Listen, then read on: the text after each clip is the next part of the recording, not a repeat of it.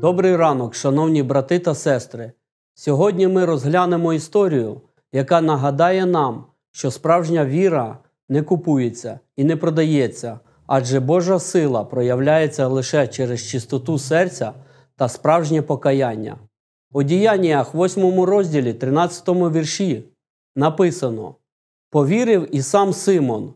Охрестившись, він постійно перебував з Филипом і дивувався, коли бачив прояви великої сили і чудеса.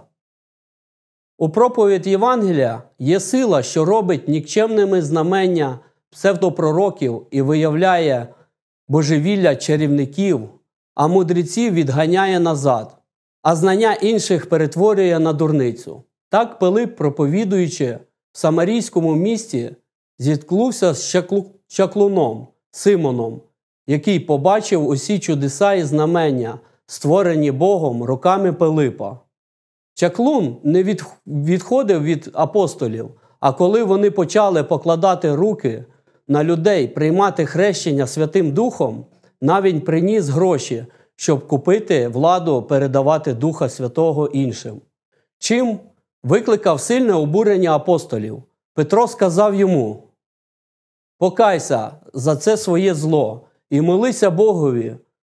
Може, простить тобі задум твого серця, бо ти, я бачу, переповнений жовчною гіркотою і перебуваєш в оковах неправди. У відповідь Симон сказав: Помоліться за мене до Господа, щоб мене не спіткало ніщо з того, що ви сказали. Нехай цей приклад допоможе нам зрозуміти, що лише через смиріння і щире покаяння ми можемо прийняти Божу благодать. Вірте, що Бог дає нові можливості для тих, хто прагне Його правди та живе в істині. Давайте щодня наповнювати наші серця вірою, надією і любов'ю, щоб Божа сила і діяла в нашому житті. Амінь.